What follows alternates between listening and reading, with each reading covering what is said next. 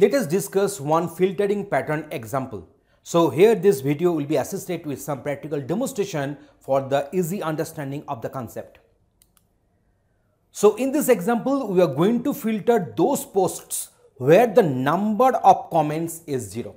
So I want to filter out those posts where there is no comment is there. So actually we are taking out some subset of the posts from the main set.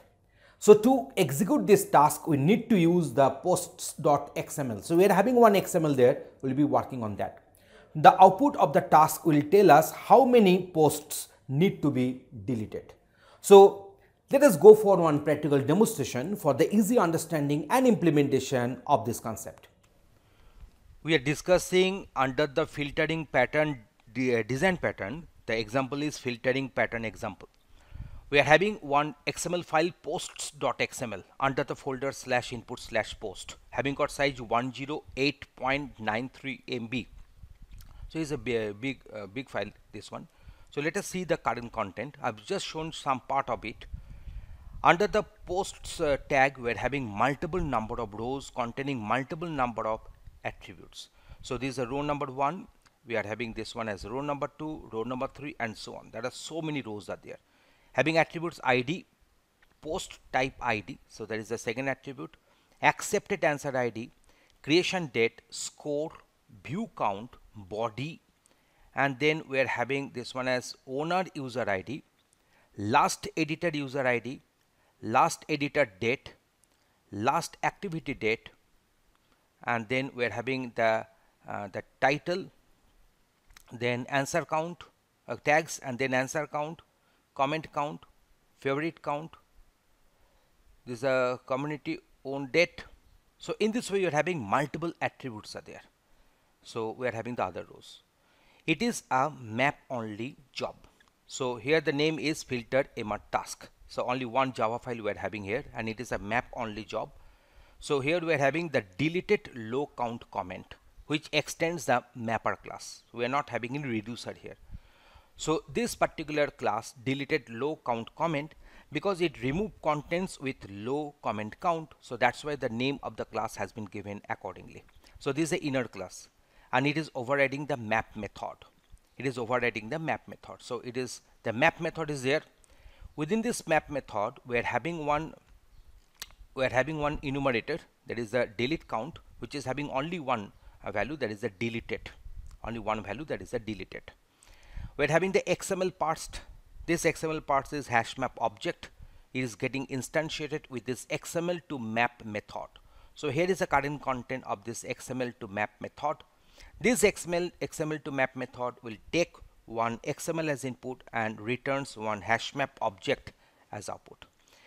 So from this XML parts get uh, comment count. So we are, uh, the comment count is one of the one of the attributes were there within the XML. So that will initialize this count. If count is not equal to null or count dot equals is 0, then context dot get counter and delete count dot deleted dot increment 1. So now uh, CTX is the context object and its uh, corresponding get counter that is a deleted delete count or deleted the value will be increased by 1. So it, it has been kept in the try catch block. It has been kept in the try catch block.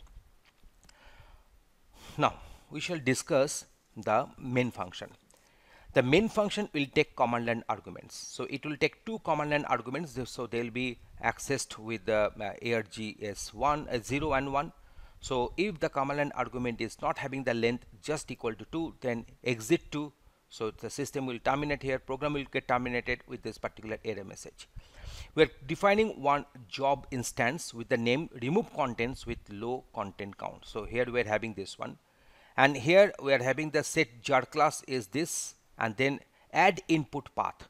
So file format will be going for this args0 and set output path the args1 set mapper class that is the deleted uh, delete low uh, count comment. So there is a mapper uh, mapper class and reducer class we don't have. So no reducer will work here now we shall initialize the output key and output value with this uh, writable, null writable class and all next one is the text class respectively. Depending upon the, uh, the status of the completion, whether it is true or false, 0 or 1 will be returned and that value that code will be returned later on but before returning we're just going to print the respective number of deleted comments is equal to value and the value has been obtained using that formula. That is the job dot get counters find counter deleted delete count dot deleted dot get value so whatever we got the incremented we did the increment there and ultimately the value will be uh, kept and the value will be printed. So before going for the execution you are supposed to make the jar file of this class. So how to create that one? So we have gone for the package name and then export and then we are selecting the jar. Then we shall click on the next. Here we are supposed to keep the proper path proper the jar name jar name file name. So jar file name. So everything has to be given and then next and finish. But already we have created the jar file so we're not going to create the jar file once again. So let us go for the execution and let us show you that how the command is to be initiated. The command is hadoop jar. The command is hadoop jar and then MapReduce uh, design pattern slash jar file. So this is a path. And the jar file name is filtering pattern dot jar. So there is a jar file name. And then filtering pattern is the package name and the class name is filtered mr task. So there is a class name.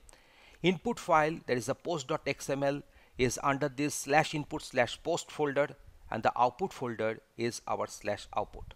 So this is the output folder we are having so we are given the input path and also the output path as argument 0 and argument 1.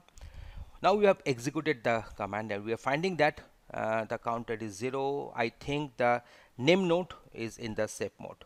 So name node is in the safe mode. So let us uh, make the name, no, uh, name node to come out from the safe mode. So the respective command should be given as sd hadoop and then we shall go for dfs admin and then we shall go for minus safe mode and then blank space leave and enter. So now the name mode uh, name node will come out from the safe safe mode. The command has been executed once again.